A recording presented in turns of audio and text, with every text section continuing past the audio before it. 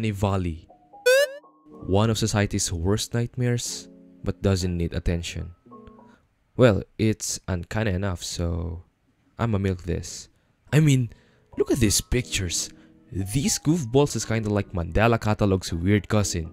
Yeah, okay, I'm taking back what I said about It doesn't need attention. it should be extinct. But jokes aside, Uncanny Valley is an actual term or theory that doesn't made up by TikTok maniacs. According to Tech Target, the definition of Uncanny Valley is a common unsettling feeling people experience when androids and audiovisual simulations closely resemble humans in many aspects but are not quite convincingly realistic. In a short span attention definition, what it means is that it trying to imitate a human, but failed to do so. Suck on that, androids! Again, this is not something we should be afraid of because it's just their appearance, right? Right? Well, AI in a form of theory is getting advanced day by day and it's kinda terrifying. I mean, look at deepfakes. And if you think AI is scary as well, wait until you see them in their flesh. Imagine this guy saying, I will eradicate humankind. is already enough to make my skin crawl.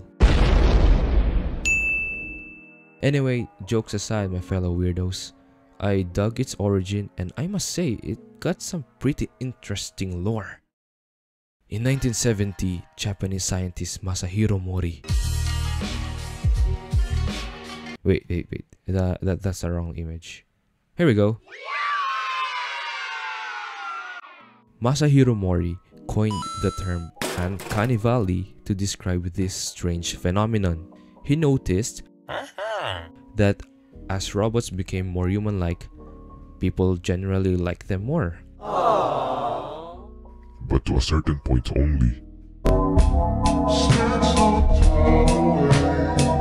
When robots got really close to looking human, something weird happened. People started feeling uneasy, even creeped out.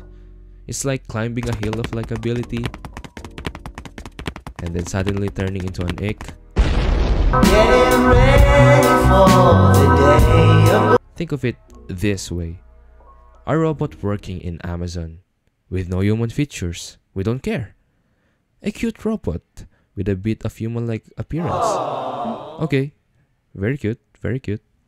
But a super realistic robot face? Smoke weed every day. Well, that's about of Uncanny Valley. If you like this type of videos, just say uh I love you to your mother. Anyway, goodbye.